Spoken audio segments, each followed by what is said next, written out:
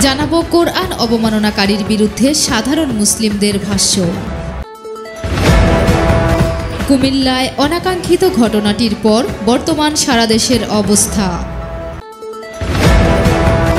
উদ্দেশ্যমূলকভাবে নষ্ট করা হচ্ছে দেশের সম্প্রীতি।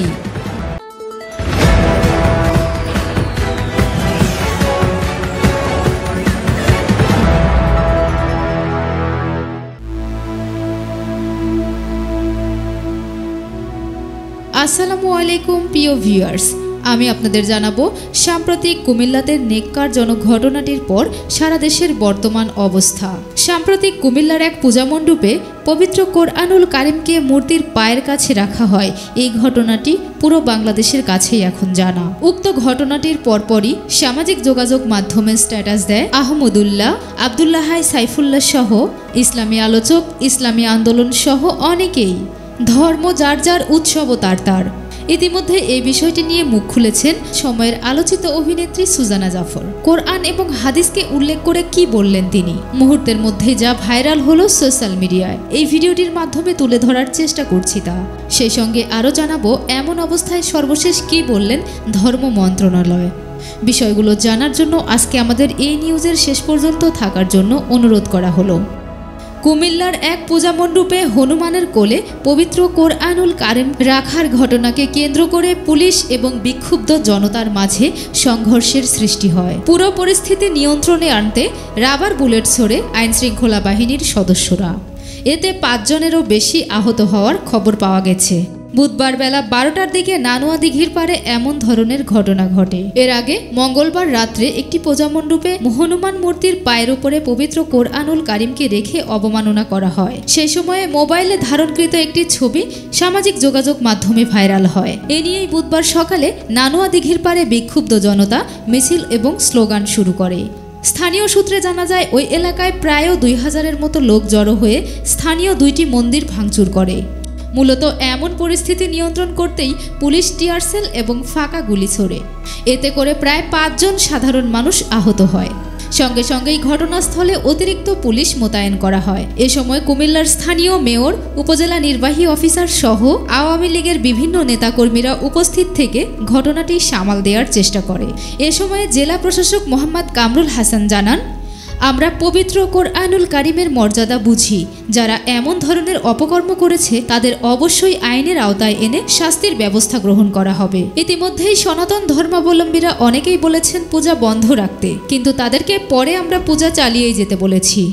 বাংলাদেশ সাম্প্রদায়িক সম্প্রীতির দেশ। ইসলামে কারও ধর্ম পালনে বাধা দেওয়ার বিধান নেই। কিন্তু এ ধরনের ঘটনা কারা ঘটালো, বিষয়টি খতিয়ে দেখা হচ্ছে। এদিকে এই বিষয়টি নিয়ে সময়ের আলোচিত আলোচক আবদুল্লাহ হাই সাইফুল্লাহ সামাজিক যোগাযোগ মাধ্যমে একটি স্ট্যাটাস দিয়েছে।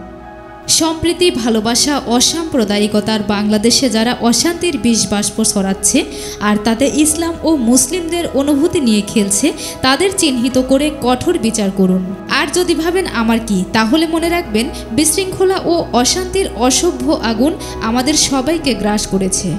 অন্যদিকে আরেক আলোচক আহমদুল্লাহ তার ফেসবুক মাধ্যমে একটি স্ট্যাটাস দেয়। তিনি লেখেন, কুমিল্লায় কোরআন অবমাননার ঘটনায় সুষ্ঠু তদন্ত ও জড়িতদের দৃষ্টান্তমূলক শাস্তি নিশ্চিত করুন। শান্তিকামী মুসলিমদের উস্কে দেয়া চরমপন্থী এবং দেশ অস্থিতিশীলকারীদের দ্রুত বিচারের আওতায় আনুন। এদিকে বিষয়টি নিয়ে প্রথম থেকেই মুখ খুলেছেন ধর্ম প্রতিমন্ত্রী। এ সময় প্রতিমন্ত্রী মোহাম্মদ ফরিদুল হক খান। এ সময় প্রতিমন্ত্রী মোহাম্মদ ফরিদুল হক খান বলেন, কুমিল্লায় পবিত্র কোরআন অবমাননাকারীর ঘটনাটি ইতিমধ্যে আমরা অবগত হয়েছি। খবরটি খতিয়ে দেখার জন্য ইতিমধ্যে স্থানীয় প্রশাসনকে নির্দেশ দেওয়া হয়েছে। ধর্মীয় সম্প্রীতি বিনষ্ট করার উদ্দেশ্যে যে কেউ এই কাজটি করতে পারে, তবে যেই এই ঘটনার সাথে জড়িত থাকুক না কেন, তাকে আইনের আওতায় এনে দৃষ্টান্তমূলক শাস্তির ব্যবস্থা গ্রহণ করা হবে।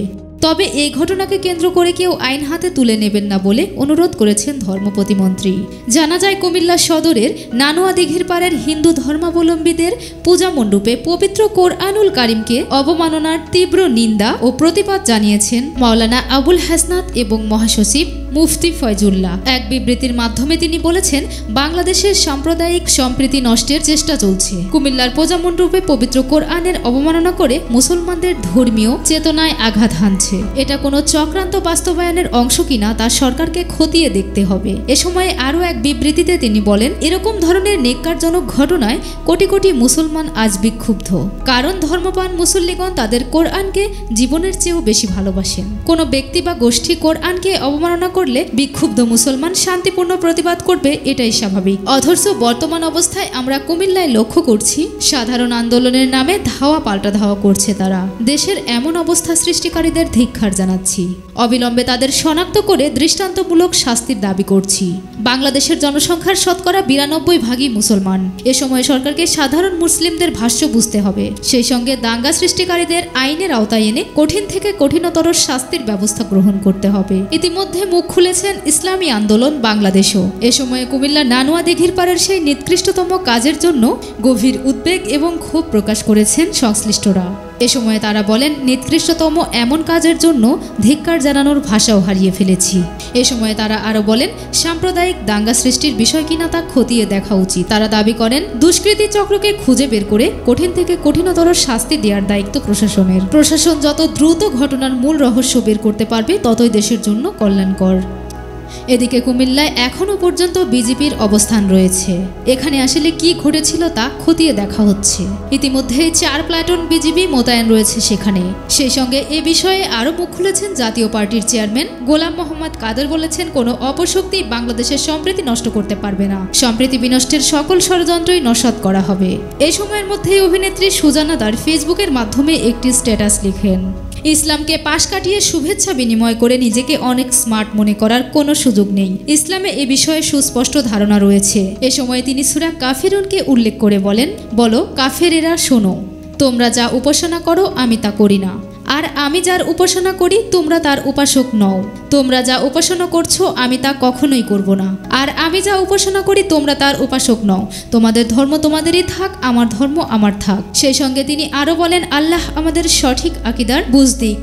এ সময় তিনি আরও একটি হাদিস উল্লেখ করে বলেছেন রাসুল সাল্লাহু আলহিউসাল্লাম বলেছেন, শীঘ্রই আমার উম্মাদের কিছু লোক মূর্তি পূজা করবে এবং কিছু লোক মূর্তি পূজাকারীদের সঙ্গে মিশে যাবে। ভিউয়ার্স পুরো ভিডিওটি দেখলেন। এ সম্পর্কে আপনার যে কোনো মতামত কমেন্টের মাধ্যমে জানিয়ে দিতে পারেন। সেই সঙ্গে ধাওয়া পাল্টা ধাওয়া বাদ দিয়ে চলুন মূল অপরাধীকে চিহ্নিত করার জন্য প্রশাসনকে আহ্বান জানাই। প্রিয় ভিউয়ার্স যারা এতক্ষণে আমাদের পুরো ভিডিওটি ধৈর্য সহকারে দেখেছেন এবং আমাদের চ্যানেলটি ভিজিট করে সাবস্ক্রাইব করে বেল বাটন অলে ক্লিক করে রেখেছেন, তাদেরকে জানাই আন্তরিক ধন্যবাদ।